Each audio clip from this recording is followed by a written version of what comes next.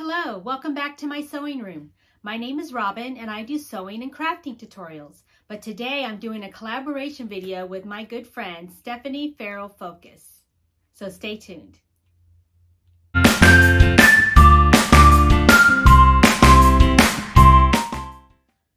I just love watching Stephanie's channel. She makes you feel like she's talking just to you, like you're her, her sewing buddy. And she just has a lot of great ideas on her channel where she's made all these beautiful dresses and tops and bags. She made this cute, uh, very cute um, backpack purse. You'll have to check that out. I will be putting a link to her channel in my description box, so make sure you check out her channel. Oh, and she also does Trailer Tuesdays where she talks about her um, trailer that she redecorated and it is and remodeled it. It is adorable. You should see it. It is so pretty. I love all the colors she used. And she um, takes you on some of her little camping trips and you get to see where, where she goes and see her adorable camper. So just check that out. I just love her. This collaboration happened was I was talking to my friend Andra with Andra Makes. She has a YouTube channel here called Andra Makes. And I was asking her how I could turn my um, pin tuck dress into a PDF pattern and she said I should probably contact um, Stephanie Farrell Focus because she had turned a pattern into a PDF digital pattern. So I'm like, I know her. I already subscribed to her channel because I just, I love her channel and I just love her sewing room. It's, it's got that beautiful aqua blue walls and all the pretty pastel colors. I'm like, that's so me. I love all the same colors she does. And so I, I DM'd Stephanie and asked her about it and she was able to hooked me up with um, somebody with Fiverr and I was able to get my pin tuck dress pattern digitized. So I'm still working on that. And so we became fast friends and just got to talking and, and FaceTiming each other and decided we should do a collab. So we looked at some patterns and Stephanie kind of got me out of my comfort zone and we are doing Butterick 5456. And I love the dress. It's so pretty, especially this fabric right here. It was so beautiful. I just love that. But I don't usually wear a dress with an elastic waist. I like more the loose, flowy type dresses. So I'm like, it's so cute. I'm going to try it. So, but I'm glad she, she um, suggested this pattern because I love it. It came out so cute, but I couldn't find any fabric like this. But I, um, but what I did find, I really like. Okay, I made view A, but I did not do the contrasting bodice. I just did all one fabric and I did not put on the hem, that extra hem. I just um, made the dress a little bit longer at the bottom. And I'll read you what it says. It says it's a very easy pattern.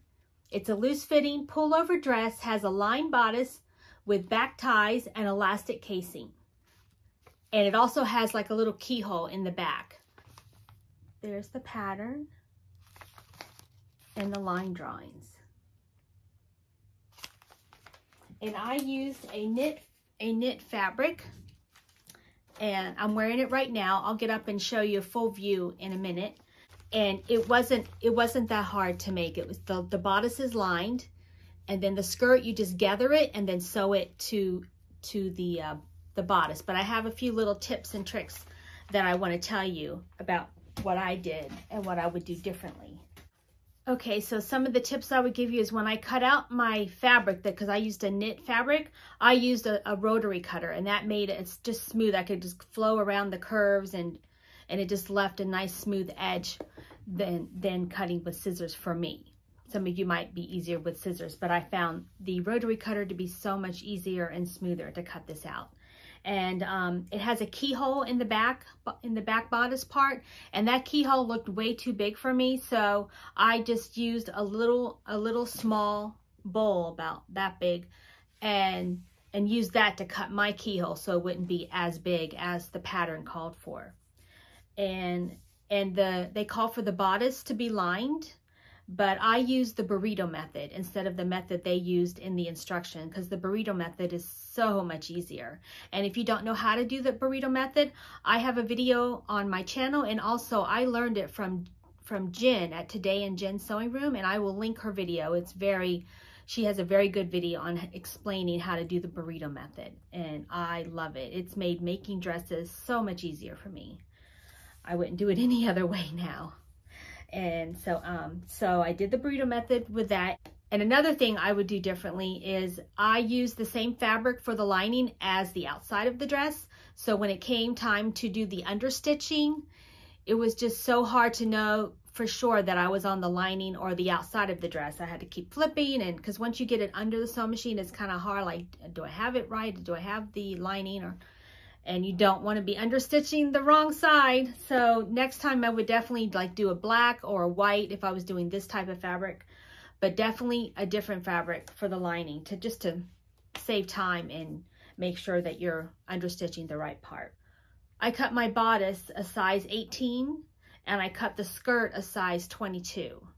And next time I would cut the bodice a 16 instead of an 18 because it was too big. The armholes were way too big and it showed my bra through the armholes. And um, so I had to end up cutting off an inch on both sides to make it smaller to fit me right here. So I cut an inch off both sides. So next time I would definitely do a size 16 in the bodice and the 22 for the skirt was perfect and and then basically after that you just um, I just sewed two basting stitches on the skirt and then pulled it to do the gathering and and then I just and then after I gathered it correctly then I did um, I sewed um, a regular seam to hold it in place and then I sewed it to the bodice the skirt to the bodice but I did not do, it called for a, a, casing to put elastic in, and I hate elastic. I hate anything tight on me. So I so I opted not to put the um, elastic casing in. So it's more of a looser fitting here, but it still looks like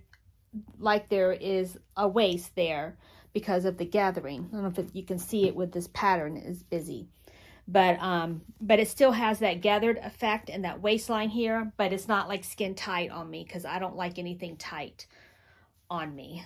So, but I love it. It came out really cute.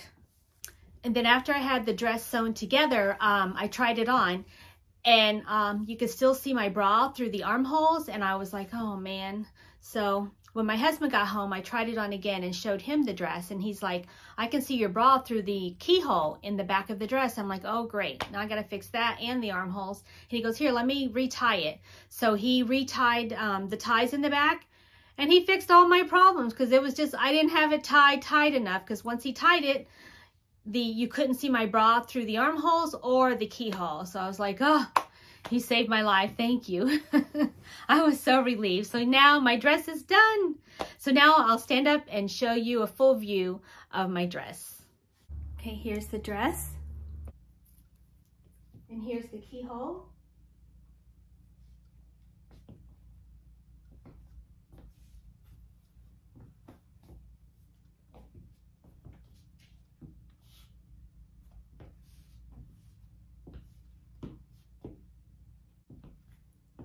I just love it. It's so comfy. So pretty. I can't wait to make it out of some different fabrics. And here it is styled with my cardigan. I love cardigans.